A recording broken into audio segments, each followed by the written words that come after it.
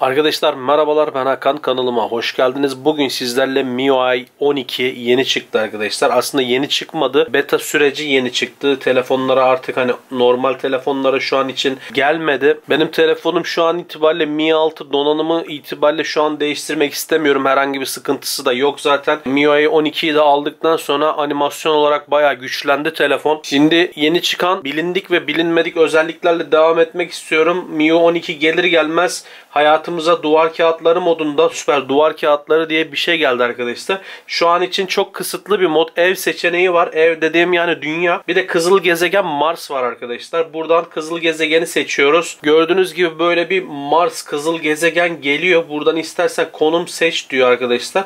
Buradan Mars'ın farklı arayüzlerini seçebiliyorsun. Mesela atıyorum böyle bir bölgesini seçebiliyorsun. Ya da şu şekilde bir bölgesini seçebiliyorsunuz. Bu ikinci güncellemeyle beta güncellemesiyle birlikte geldi. Euron bildiğiniz gibi Çin arayüzlü ROM'lara kurularak geliyor. Bunun bir de normal modu var. Ben bunu uyguluyorum. Şu anda telefonumu kilitledim. Geri tekrar açtığımda öncelikle bu şekilde bir Mars arayüzü geliyor kilit ekranında. Daha sonra size şifre soruyor. Aslında şifreden ziyade parmak izini girdiğiniz zaman direkt arayüze geldiği zaman böyle Mars'ı sizin belirlediğiniz noktasını animasyonuna gösteriyor. Super Wallpaper şu an için diğer telefonlara da yüklenebiliyor arkadaşlar. İkinci farklılıksa bildirim çubuğunda iPhone gibi bir bildirim çubuğu seçeneği geldi. Böyle sağ taraftan indirdiğinizde kontrol merkezi açılıyor. Diğer Sol taraftan açtığınız zaman da gördüğünüz gibi bildirimlere yer verilmiş arkadaşlar. Bu güzel bir özellik olmuş. İlk etapta alışamadım ama daha sonrasında gayet güzel bir şekilde alıştım. Kontrol merkezinin animasyonları ve ayrıca böyle gördüğünüz gibi kısa yolların fonksiyonelliği gayet güzel bir şekilde olmuş. Böyle sündürdüğünüz zaman e, aşağı kısma doğru çıkabiliyor. Bir sonraki özelliğimiz arkadaşlar ekran modundan şöyle koyu moda gelelim. Bu koyu moda Dark 2.0 versiyonu denmiş. E, daha önceki Dark 1.0 versiyonunda MIUI 11'de e, birçok uygulama beyaz kalıyordu. Şu an itibariyle hangi uygulamaya girerseniz girin dark modunu rahatlıkla kullanabiliyorsunuz. Bu şekilde telefon uygulaması ya da atıyorum işte mesajlar uygulaması ya da atıyorum WhatsApp'ı açtığınızda böyle dark mod, Chrome'u açtığınızda aynı keza dark mod, Instagram'ı açıyoruz gördüğünüz gibi dark mod, YouTube Studio'yu açtığımda bile koyu modu gördüğünüz gibi kullanabiliyorsunuz. Eğer uygulamalarda varsa dark mod özelliği yani koyu mod özelliği açtığınızda dark mod 2.0 motorla tam uyumlu bir şekilde çalışabiliyor. Ve arkadaşlar bir bahsetmek istediğim şey uygulama animasyonlarının geçişi. Uygulamaları kapattığımız zaman böyle çok değişik bir şekilde animasyonlarla açılıyor ve kapanıyor. Bir sonraki farklılık hava durumu uygulamasında var. Gördüğünüz gibi şu an hava 16 derece diyor. E, uygulamanın içerisine girdiğim zaman böyle gördüğünüz gibi animasyonlar karşılıyor. E, şu an için bulut falan yok. Yıldızlar var. Normalde bulut falan olduğu zaman da e, farklı bir animasyon gösteriyor. Yani buradan bulutlar geçiyor. Yağmur yağdığında ekrandan aynı keza yağmurlu bir hava oluşturuyor. Animasyon demişken MIUI 12 ile birlikte değişen bir şeylerden bir tanesi de telefon bildirim ekranı. Gördüğünüz gibi MIUI 12 sürümü diyor. Buradan telefonu güncelleyebiliyorsunuz. Buradan depolamayı gösteriyor. İşte bellek, Mi 6, e, telefon modeli, ekranını, ekran çözünürlüğünü, pil kapasitesini, işlemcisini, kamera çözünürlüklerini vesaire gösteren bölüm bu şekilde değiştirilmiş. Ve MIUI 12 ile değişen özelliklerden bir tanesi de uygulamayı kaldır dediğinizde arkadaşlar animasyon böyle patlama animasyonuna dönüşmüş.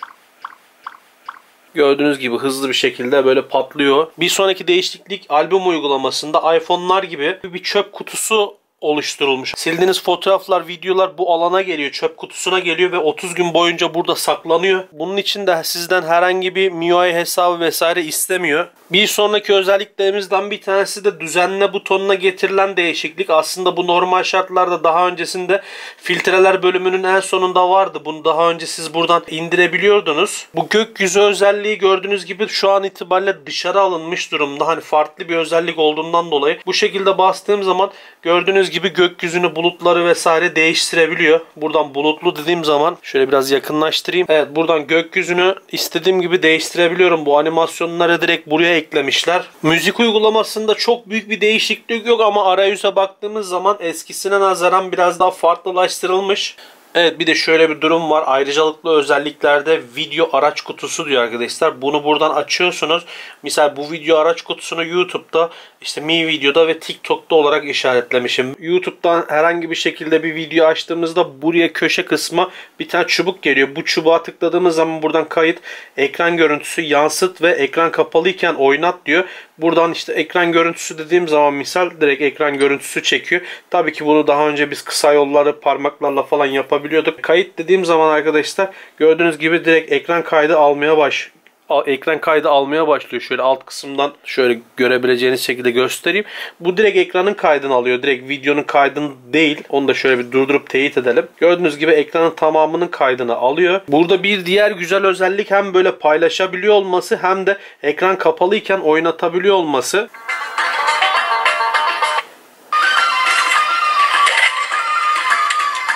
Evet gördüğünüz gibi ekran kapalıyken de hani müzik vesaire dinleyeceğiniz zaman ekran şarjını götürmesin diye bu özelliği de video toolbox özelliğini de kullanabilirsiniz. Aynı keza ayrıcalıklı özelliklerde oyun turbo modu var. Bu yeni bir özellik değil ama arkadaşlar burada bir özellik göstermek istiyorum size. Birçok arkadaş bilmiyor olabilir. Herhangi bir oyun açtığınızda e, biraz önceki video toolbox gibi aynı şekilde buraya kenara bir e, oyun çubuğu çıkıyor gördüğünüz gibi.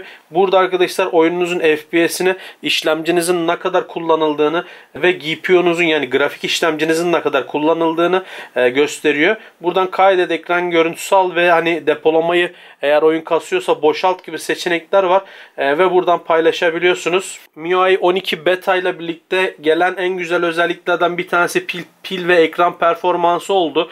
Normalde öğlen arasında bir şarjı takmışım. Normal şartlarda MIUI 11 ile birlikte pil performansım baya baya gerilemişti. Standartta 3 saat gibi e, aktif kullanım süreleri alıyordum. MIUI 12'ye geçtiğimde arkadaşlar e, ortalama 5 saat 6 saat civarında aktif kullanım süresi alıyorum. E, ben normal şartlarda şurada bir şarj etmişim telefonu. E, buradan %20'ye gelene kadar 3 saat aktif bir şekilde kullanmışım. Ve bekleme süresi de var. Normalde ortalama 3 saat aktif kullanım sürelerim ortalama 5 saatlere 5,5 saatlere falan çıktı. Arkadaşlar benim MIUI 12 deneyimim bu şekildeydi. Benim atladığım, kaçırdığım özellikler varsa siz de yorumlar kısmında yazarak bize destek olmayı unutmayın. Beğendiğim yorumları direkt yorumlara sabitleyeceğim arkadaşlar ve kalp koyacağım. Kanalımıza abone olarak bu tarz çalışmaları destekleyebilirsiniz. İzlediğiniz için çok çok teşekkür ediyorum. Bir sonraki videoda görüşmek üzere. Kendinize iyi bakın. Hoşçakalın.